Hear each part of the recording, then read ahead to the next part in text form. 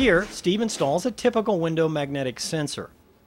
He first marks the location of his cable on both the frame and the sliding pane. Retrieves the cable, strips and preps two conductors, and attaches the conductors to the switch contact. He then centers and secures the contact to the frame using the contact adhesive backing. He then preps the track of the pane and attaches the magnet with its adhesive backing, plus a dab of sealant for good measure.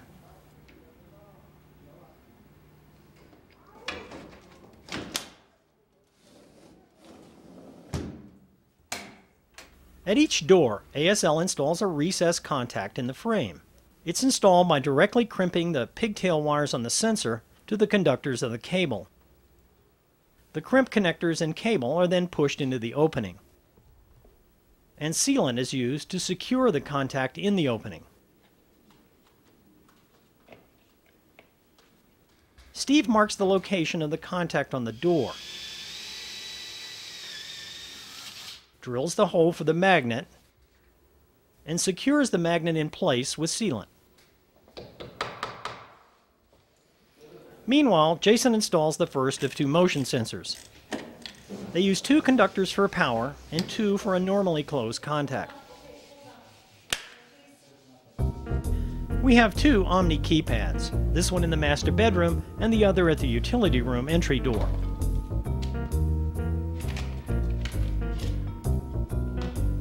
After measuring the correct height, Steve uses the back to mark the cutout and mounting holes. Cuts the cable opening and retrieves the cable, then secures the back to the drywall. He preps the cable and attaches the provided connector using the pigtail conductors.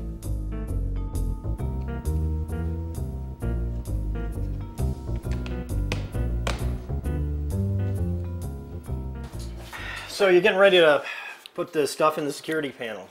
Yeah. Well, let me give you a hand. Okay. Now, you want to, we've got the A-bus in here, HAI panel, and that's about it other than the security equipment. That's it. Okay, so these are our um, uh, audio cables. These and are these the are security stuff, and these are all your security sensors. Right. Okay, well, let's get started. You want to start from the top down? Yeah, let's do start from the top down. All right, why don't you grab the, that. So the panel just snaps in.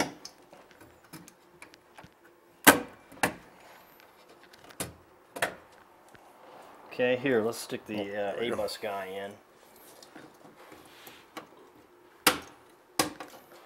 So you're just going to come down with your cables and wrap around. Yeah, we'll tie them off to the side so it keeps everything nice and neat. Okay. Uh, let's get the power strip. Uh, you want that a little high,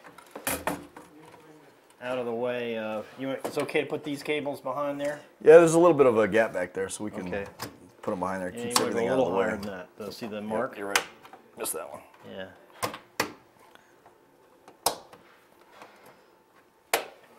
Okay, so the A-bus power supply then, so we've got the X10 module that's going to go in there, and you'll have the um, power supply for the board. Yeah, the transformer will sit in the bottom. Okay, and then the A-bus power supply is going to go in there and, and power that thing, right? Yep. Okay. Um, well, if there's anything I can do, since we put the uh, this stuff in, I wrote on there where the you know each wire goes to the panel. Okay.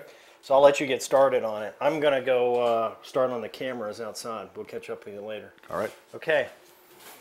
Eric starts the process of sorting out the security sensor cables and getting them organized into zones for attachment to the security processor board. Next, Rich and I are going to mount the uh, cameras inside and outside. I'm here. I'm going to install this one on the front porch. Now we're going to use these small uh, bullet-style color cameras, and I've gone ahead and pre-mounted these on the plates in the office to save time during installation. The 12-volt DC power connector conductors are crimped to four conductors of the Cat5 cable.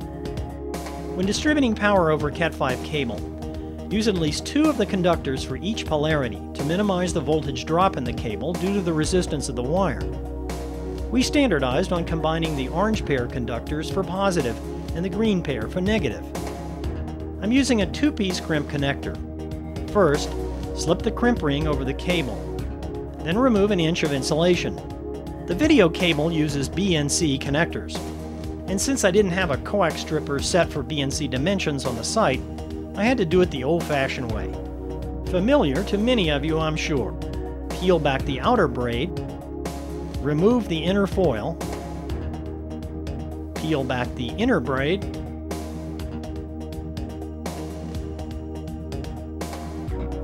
and trim them to about half inch. How much insulation you remove and the center conductor length depends on the brand of connector you use. The connector pushes under the braid and the braid is folded over and under the crimp ring.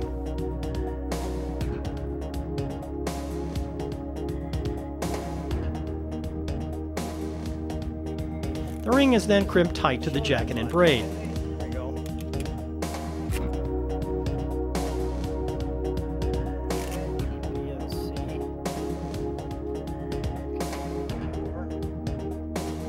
Connectors push back into the outlet and the camera is attached normally.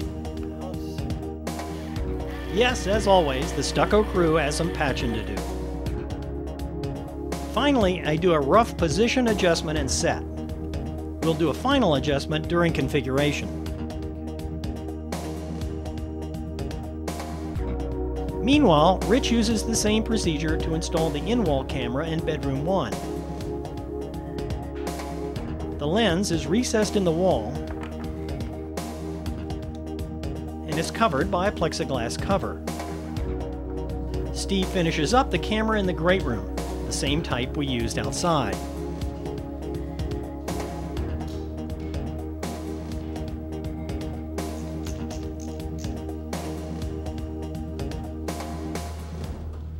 Now, we're going to be using a Core Access Omni 6 home control and user interface system. Now, installation is simple. It consists of simply attaching power, our Ethernet uh, network connection, and a serial interface back to our Omni LT home automation panel.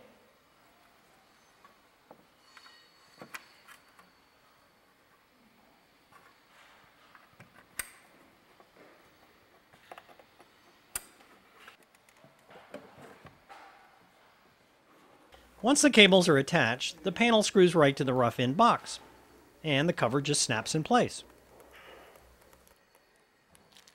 Very nice.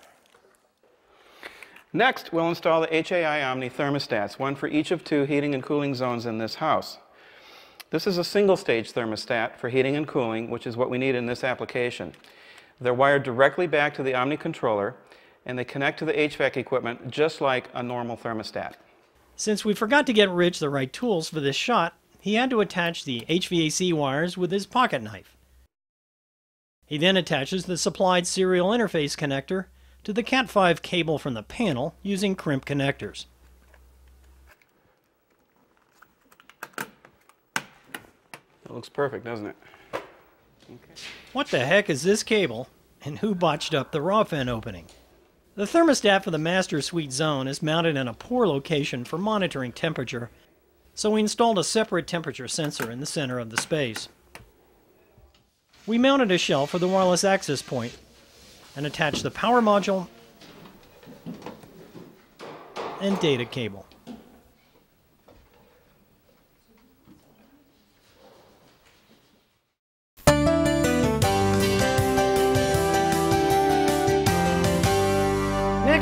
Installing the in-wall and in-ceiling speakers. Now, we're using Channel Vision's A-Bus audio distribution system.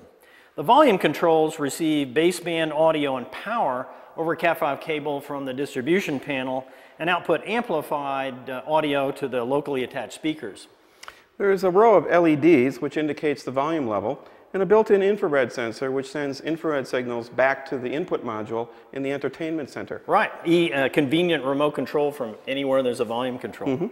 Well, it looks like Steve has already started installing the in-ceiling speakers here in the dining room, right Steve? That's right, Grayson. I'm going to be using Channel Vision's round retrofit, very easy to install speakers. Okay, one on each corner here, looks yes. good. Yep. Well, I'll give you a hand putting it in. Okay. And I'll go ahead and get the volume control installed. Okay, thank you, Rich. Mm-hmm. Uh, well, you've already got the thing marked. Yep, Very good. ready to cut. All right. Well, Steve, I know we staple these speaker cables up here real well, but looks like uh, somebody decided they were going to do us a favor. Yeah, it's a common mistake. Somebody just stubbed that out for us in the wrong spot. We'll just have to pull it back through and just patch over it. That's the cable. And it looks like they did a little odder job on the other side. Why they picked that place, we have no clue. again, it's an easy fix. Yeah, but it's typical for residential installation. You always run into these screw-ups when you come back on the job. It happens. Okay, what do you need first? Um, I'm gonna put on my glasses and I'm gonna go ahead and cut some drywall. So if All you right. hand me my drywall saw. Okay.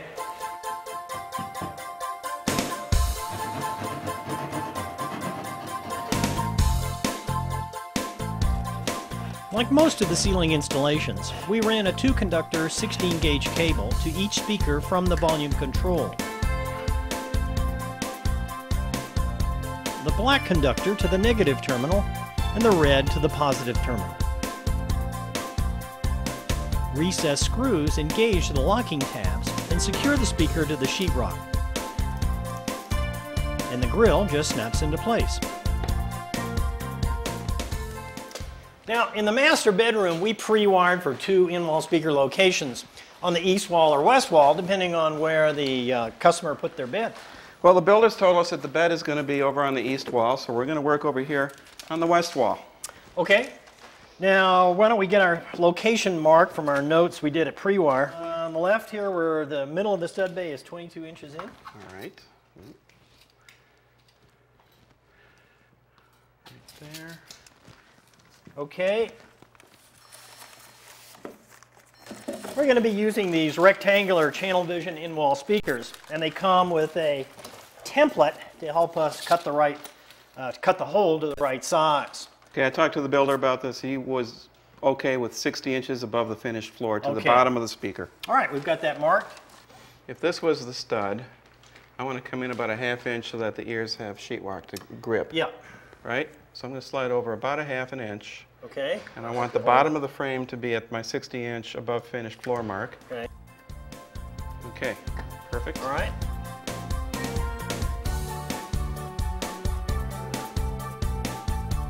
And it's somehow right top of a.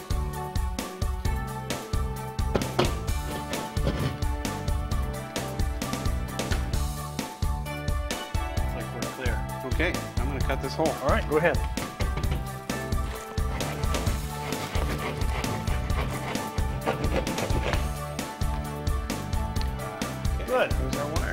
We lucked out this time. Okay. During pre-wire, we daisy chained a 14-4 cable from the left side to the right. So we have to crimp the red-green pair of both cables together here for the right speaker. Okay, white to positive for left channel. And black to negative for re- left channel. Good connection.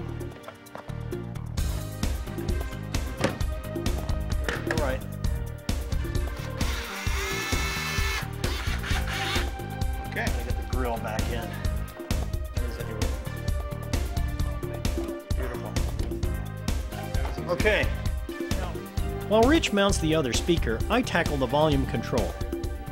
Since we pre-wired to both sides, I select the correct 14.4 cable. I prep the Cat5 cable from the panel and punch it down to the 110 connector.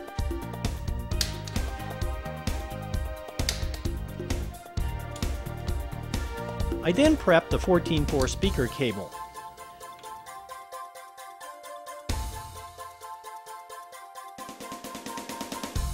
Red green for the right speaker, white black for the left.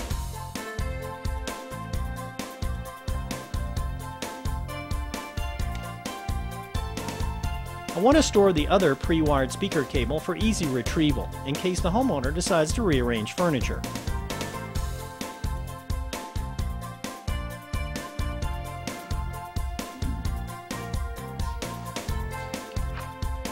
Earlier in the dining room, Rich connected separate 14.2 cables for each speaker.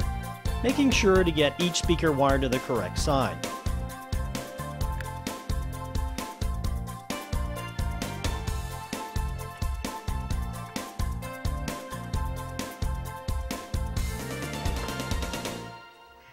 While Rich continues with the volume controls, I mount an A-Bus source module in the entertainment center.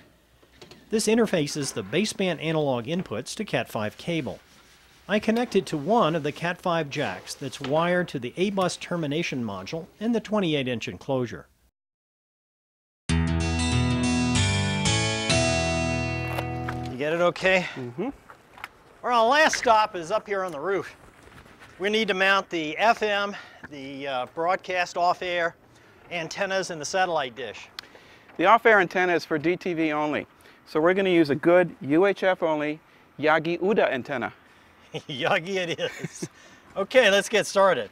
Rich, why don't you take the uh, FM antenna, I'll take the uh, Okay. broadcast off air.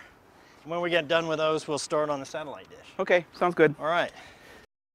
Earlier, I made sure we could get the needed signal strength on this part of the roof while pointed directly at the broadcast site on top of an 8,000 foot mountain about 25 miles away. And to make sure reflections weren't too bad from the adjacent mountain.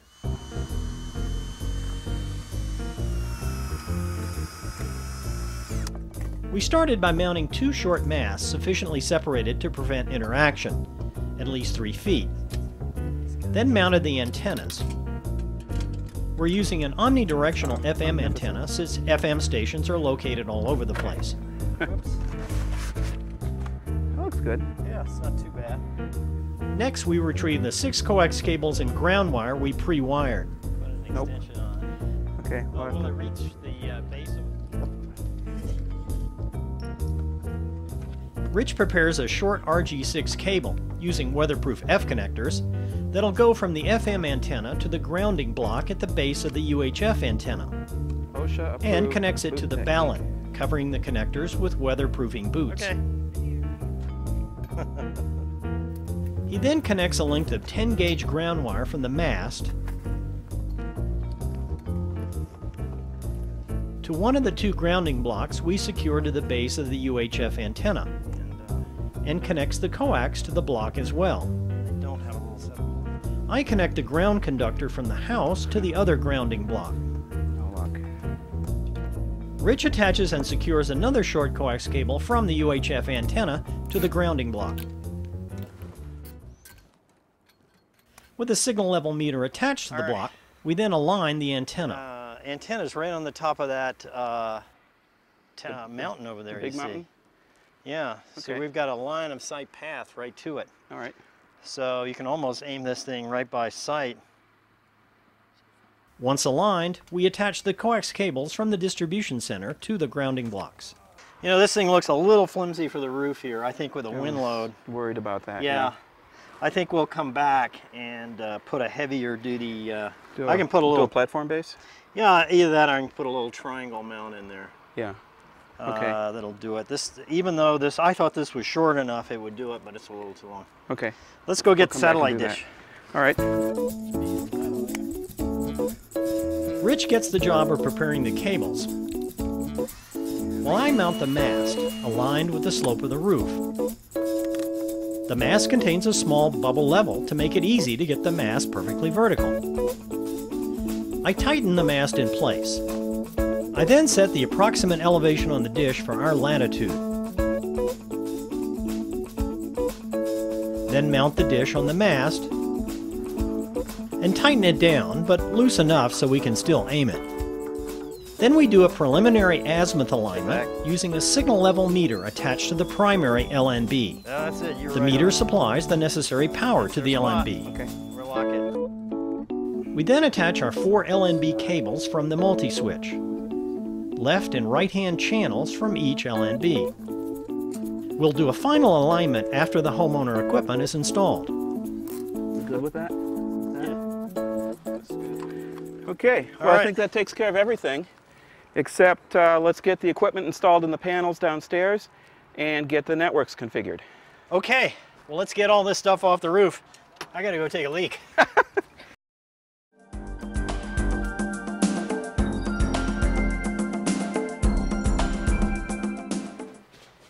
Hi, Steve. How you doing? Good, how are you? Excellent.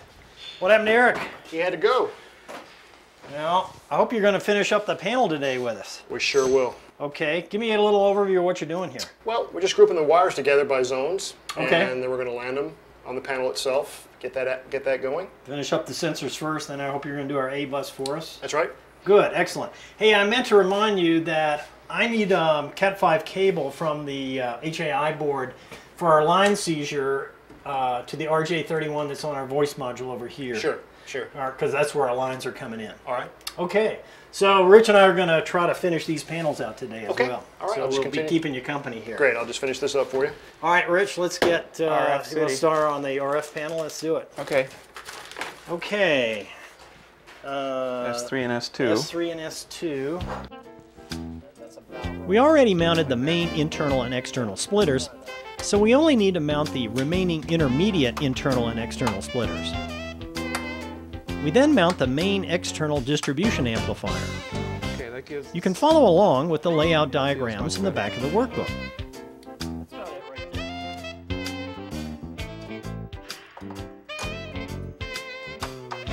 Next comes the internal signal amplifier. Rich then starts from the bottom and mounts the satellite multi-switch. Then the four-channel camera modulator. With the modules mounted, Rich starts on connecting the external cable runs to the two 8-port external signal splitters.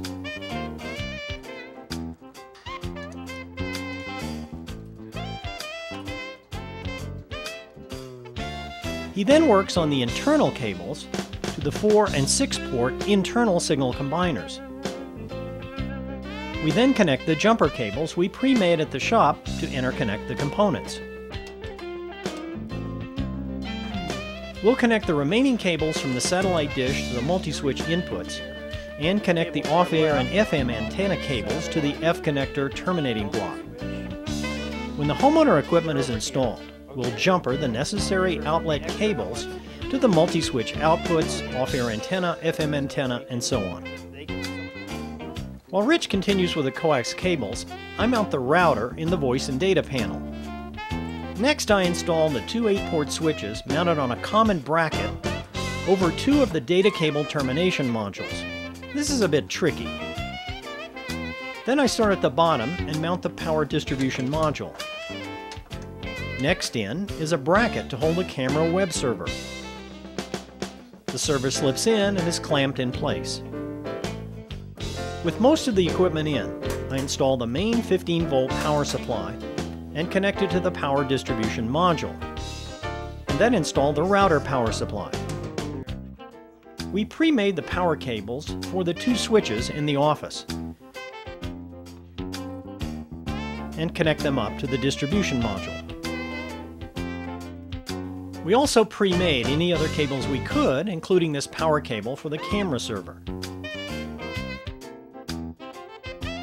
I then prep the Cat5 part of the four camera cables to combine the power conductors and apply the connectors, and plug them into the jack supplying regulated 12 volt DC. Rich and I begin installing the voice and data jumpers, first between the voice modules. These are commercially made Cat5 jumpers.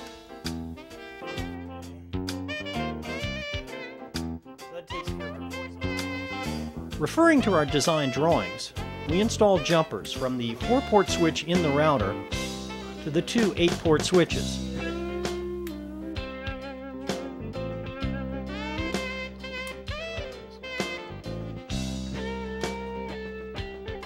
Then from the camera server to the router switch.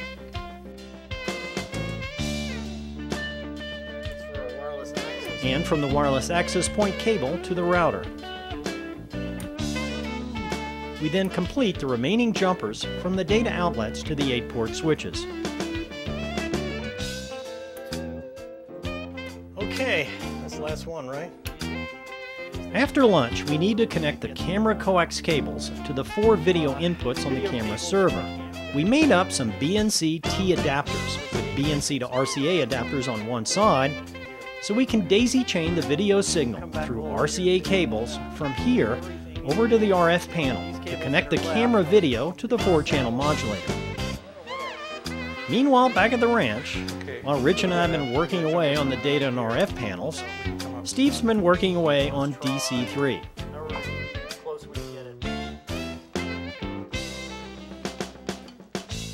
He's finishing sorting out the security zones and connecting zone sensors, keypads, and alarms to the Omni screw terminals.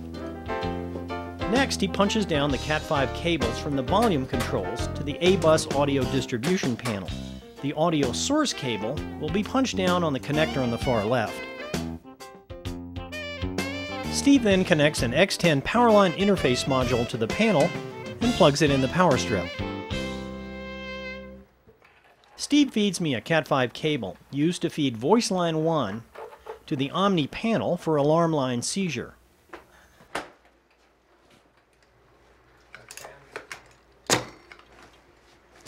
See if you need to test this thing, this little switch, this this will throw it into normal bypassing the security panel. Right. If I throw that up, then it's in the circuit. Gotcha.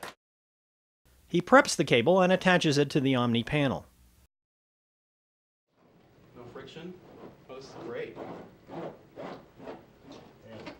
Piece of pie. These are the RCA cables we mentioned earlier that feed the camera video from the camera server over to the modulator.